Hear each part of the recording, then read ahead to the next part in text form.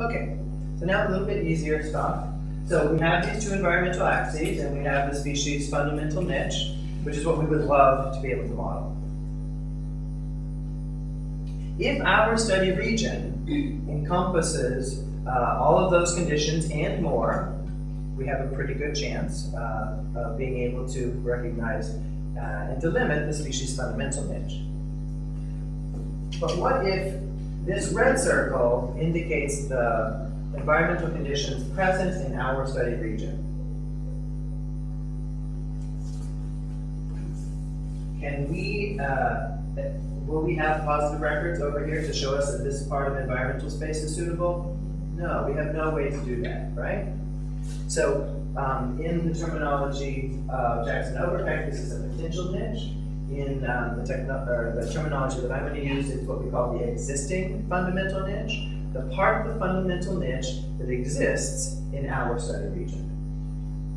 Okay, so we we don't have the possibility of reconstructing or characterizing the species' full fundamental niche in this situation.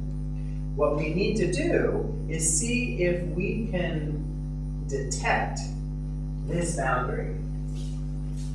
So here, on this side, we can see, okay, we have records all the way up to here, and even though the environment continues in our study region, we don't have records. Okay, so we seem to see uh, a boundary there of what is occupied compared to what's available, right? This is a different kind of boundary. Over here, we're probably going to have positive record all the way up to the edge of this red circle. Okay? But then we don't have anything, or we don't have any areas that, that extend farther into those conditions. So if we see that kind of uh, a situation, then that should ring a bell for us and say, oops, we have to be really, really careful because the species might be able to uh, occupy conditions that are uh, a little bit more extreme in environmental space, but, but we don't have those because they just don't exist anywhere here. Okay? So for example, you do have a species here on San Miguel, and it occupies, you know, all of the, say, the wettest areas, right? I mean, Everything's pretty wet, right? okay? Um, but what if, yeah, and so what if, you know, you you have it actually everywhere on San Miguel, right? So you would have a situation and you really wouldn't know anything about its requirements because it occupies everything possible. Imagine it occupied like only the wetter half, right? Um, but what if you had an island next door that was even wetter? You know, would the species be able to be present there or not? Well, we don't really, really know from our observational data, and a correlative approach will not tell us that for sure. Okay? So when you have this situation of occupying all of the conditions available and you not being able to see uh, what would happen in more extreme conditions, does anybody know the term in the literature that people use for this?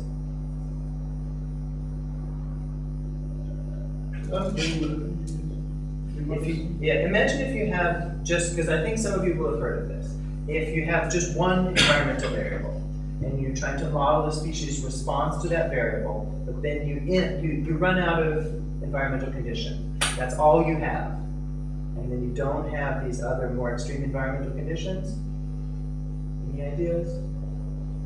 Okay. That's what many people will call a truncated response. I knew. I knew you heard what that was, right? So this, we have our species response, but it's truncated by the availability of what's there. Okay? And we will look at that quite a bit, because that's really critical for transfers. Okay, so more theory. So there are different ways to study niches, but there's also different perspectives about the niche itself. And the niche has a very long history with lots of people thinking about it.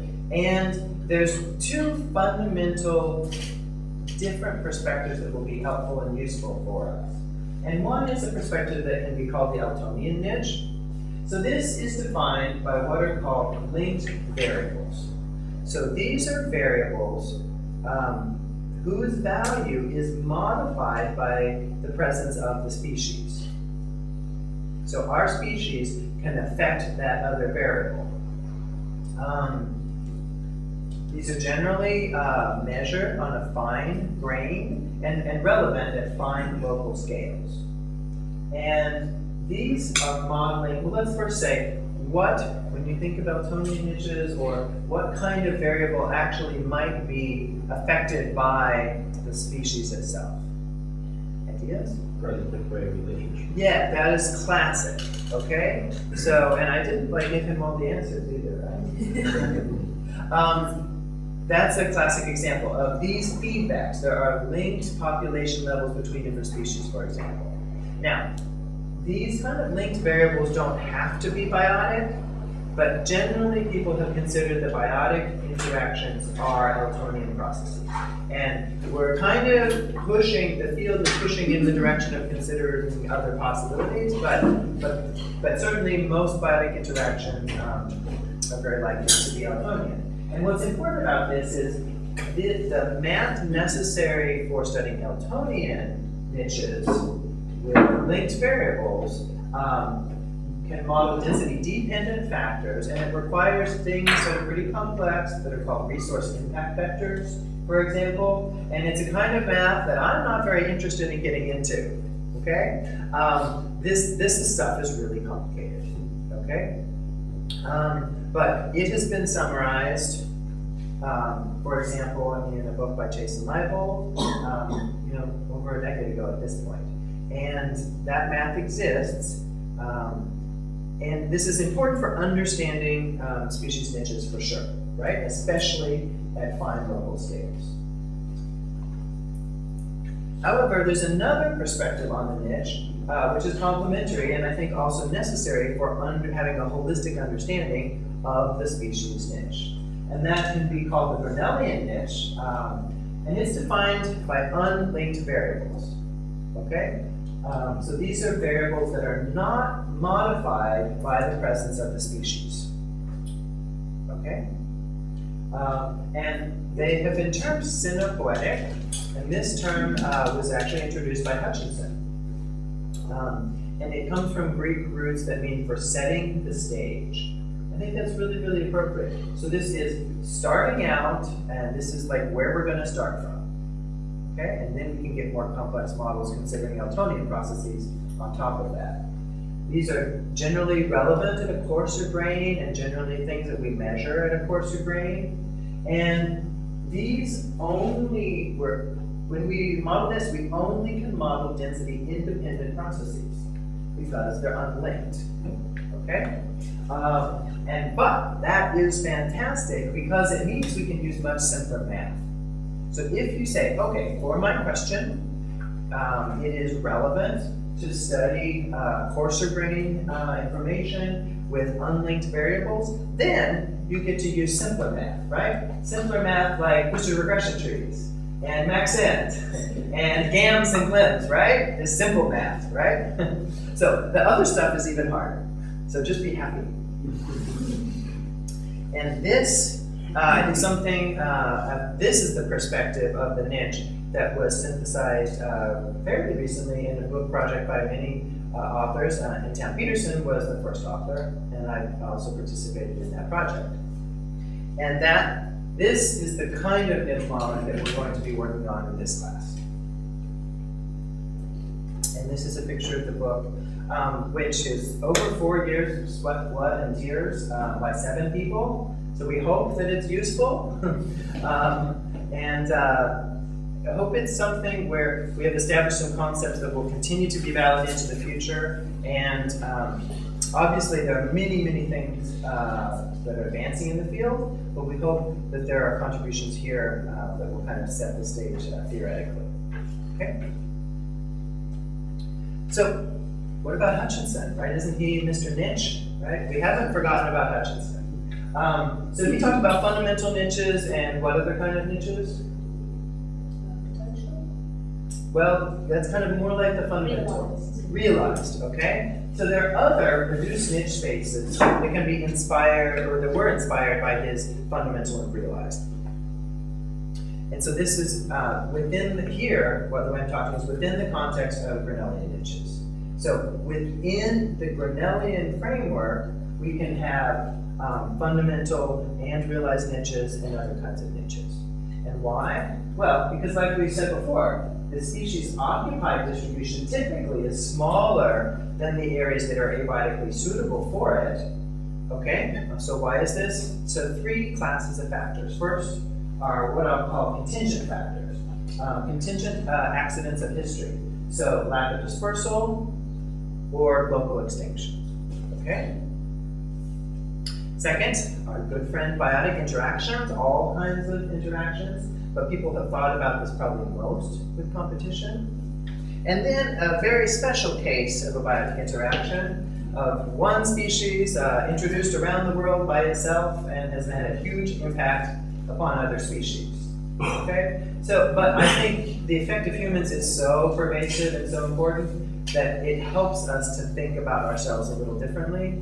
Um, because if you're thinking about biotic interactions, you're often thinking very abstractly in competition in this, but um, but human impacts, we generally um, are using different kinds of data to try to quantify them, remotely sense data, vegetation surrogates, and things like that. So these are the three classes of factors that explain why a species may not occupy some area that actually uh, should be suitable for it. Okay, questions so far? Okay, I'm going to go over something that Town will also cover in his video, so I will um, just give you a little bit about this and then he will talk much more. So this is a way of conceptualizing um, the relative importance of those three classes of factors. And right now we're going to actually consider humans within the biotic circle. Okay? So if the box is our study region, then some subset of that is um, some set of those geographic spaces are suitable from the abiotic perspective. Those are the areas in green. And those are what we call the abiotically suitable areas. This is what happens when you put seven people together and you try to pick a term that everybody agrees on. It's like it like tastes just about as exciting as you know rice and water. um, but but it's like but it's exactly what we need. Areas that are abiotically suitable based on our symbiotic variables. So there's other areas that are biotically suitable, and hopefully they overlap. Because if they don't overlap, the species has no hope. Um, the overlap between the areas that are abiotically suitable and biotically suitable is what in the book we decided to call the potential distributional area. This is a little different than that term has been used in the past, but, but it's very clearly defined like that for the books. So we're going to use right now. And then the species can't necessarily get everywhere, um, but these are the areas that, based on its movement, its dispersal ability, it can get to. Okay. So, of everywhere in our box, where is the species actually going to be found? The intersection of all three of those, okay? Which has the really exciting name of the occupied distributional area. Okay? Um, so, there's two ways you can use the, the BAM diagram. B-A-M is what this we call it. began with Soberón and Peterson a long, long time ago, and then there have been some, you know, uh, refinements. But the one way you can use this is think, okay, very generally, very conceptually, just like a Venn diagram. So there are abiotic factors and biotic factors and movement-related factors, and they all have to be favorable. Okay, and it's useful like that. Okay, the other way is uh, a more literal uh, understanding of this as being my area in geographic space but rearranged. So this is also can be thought of geographic space uh, where you have your grid and you shatter it, you break it into pixels, all these little pixels, and then you move them around so that they make nice little circles.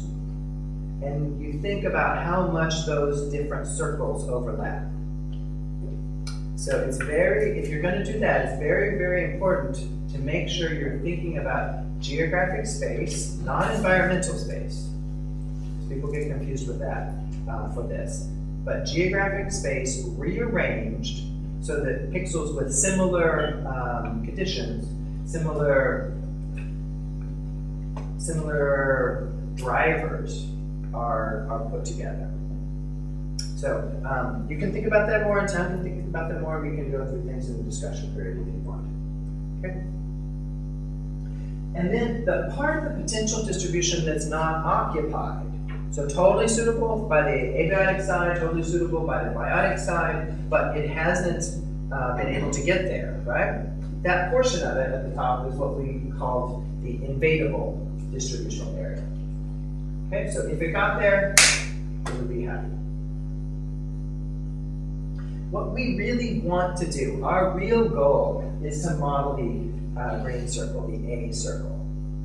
So when we think later, not in geographic space, but in environmental space, we're going to think back to those um, plots by Pulliam and say, okay, if we don't have perfect representation, to what degree are our data biased with regard uh, to environmental space uh, or not? Because if, if we do have those situations where, for example, a competitor is removing a species from some portion of the environmental space, then we're not going to be able to reconstruct our A circle the way we want to.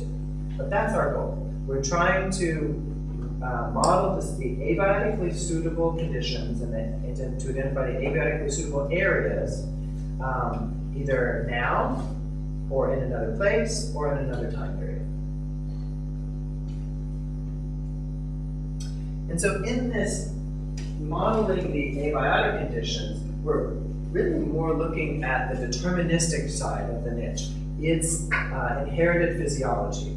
And whereas these other circles have much more to do about accidents of history, contingent uh, things that have happened along phylogeny and where the species uh, originated, where it's able to disperse to or not, and also that enters into the biotic uh, circle of, well, the species it's interacting or it can interact with, you know, where did they, uh, uh, where did they evolve, and where have they been able to move to? Okay. Now, so I promise we're going to have a little bit more about Hutchinson. So Hutchinson talked very clearly about the fundamental niche. He also talked very clearly about the realized niche, and we're going to kind of break that down a little bit. So the, we already talked about the existing fundamental niche, uh, because we may not be able to see the full fundamental niche in our study region.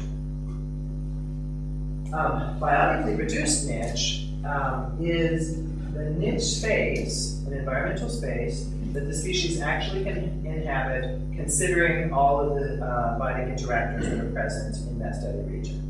So if we were just going to consider competition, this would be the same as what for Hutchinson? We talked about it before. Which one did it? Well, the realized niche. Okay? But we'll say, well, competition is not the only important biotic interaction. Uh, so let's consider all of those together. Okay? We already saw that the occupied distributional area can be smaller than the potential distributional area. So the niche space that corresponds to the areas that the species actually occupies, called the occupied niche space. And then the environmental conditions in the in, uh, areas that are potentially suitable but not occupied because it hasn't dispersed there, we can call the invadable niche space. Okay, so some terms to think about, and there's a nice table in the book and actually in uh, a later um, later paper of mine I've reproduced. Okay, so you don't even have to buy the book to get the table. Now, just one, and this is basically the table here, thinking about geographic and um, environmental spaces. So um, we have the, the four kinds of areas in geography, and then the corresponding niche spaces. Remember, we would like to model the fundamental niche, but we know the best we possibly can do is the existing fundamental niche for our study region. And we may actually um, have subsets within that. But one thing that's really, really important is the only one of these that you can go back and forth using a GIS is between the abiotically suitable area and the existing fundamental niche. You can, you know, extract uh, from from your map if you knew what the abiotically suitable area was. Know, if, if Wallace talked to you tonight in, in your dream and he told you what was suitable, you could extract those conditions and um, and then plot them in environmental space if he also told you what variables were important, and you could show the existing fundamental niche. Okay? If you if somebody told you, maybe from a mechanistic experiment, these are the environmental conditions that the species can inhabit, and you know which part of that is found in your study region, you can use any GIS to take that, apply it to geography, and show you the abiotically suitable area. You can go both directions there. You can't do that for any of the others. So, for example, if you have a potential distributional area, um, you can extract the environmental information and characterize the biotically reduced niche space, right? But if you have the niche space that's suitable after you consider these biotic interactions, you can't take that and project it onto geography to identify the potential distributional area. So why is that?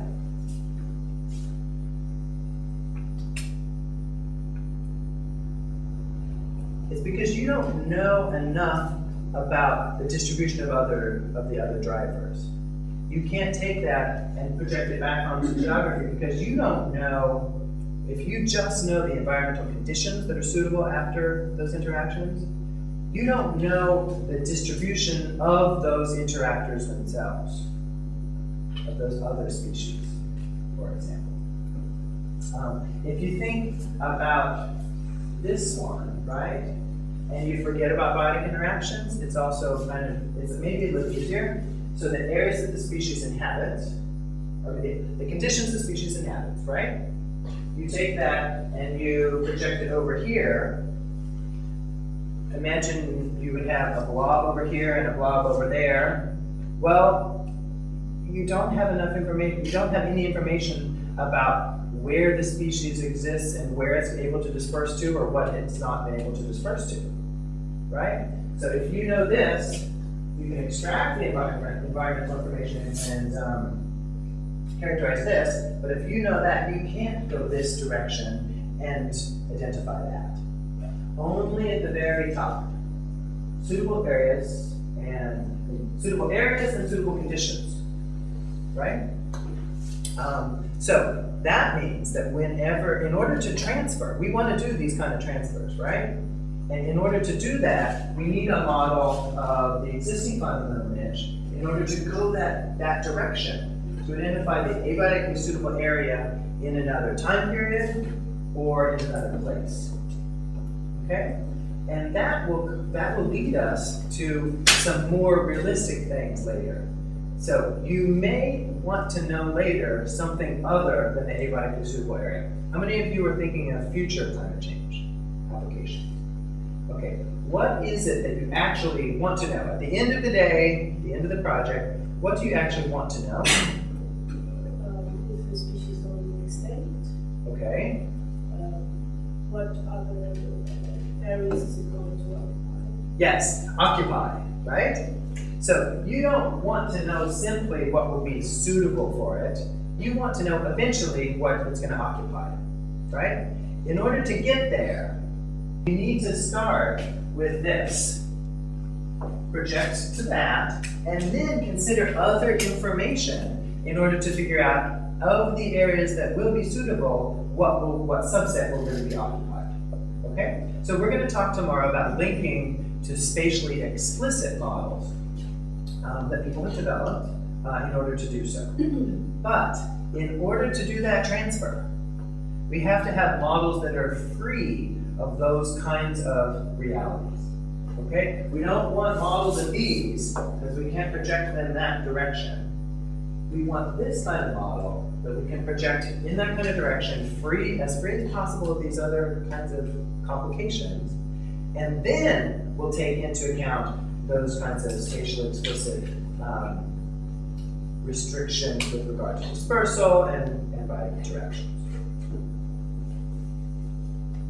So, I want to thank uh, you guys, but also the National Science Foundation and funding at CUNY. And um, I think we will see where we are on time and decide if we're going to do questions now or after the video. All right, thanks a lot.